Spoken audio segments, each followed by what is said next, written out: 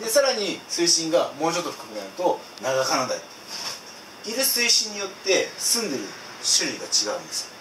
同じ魚？え同じ魚ではです。花鯛っていう仲間要するにフグの仲間みたいな。花鯛っていう仲間がいるんですけど水深ごとに住んでるのが違う。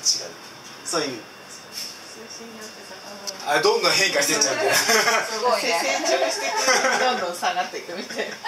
生態変化をそれだったら面白いんですけどね。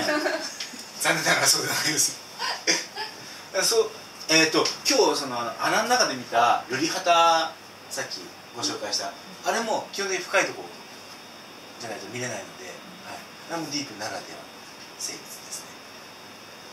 こんな、えーいろんな魚にこれから会えるようになります、えーさらに基本的には水深 18m から 30m まで楽しむことができまして経験を重ねていくと最終的には 39m の世界までもつれできます。さらにこのディープダイビングが終了するとダイブマスターコース参加条件の一つも終わります。ここまでよろしいでしょうか。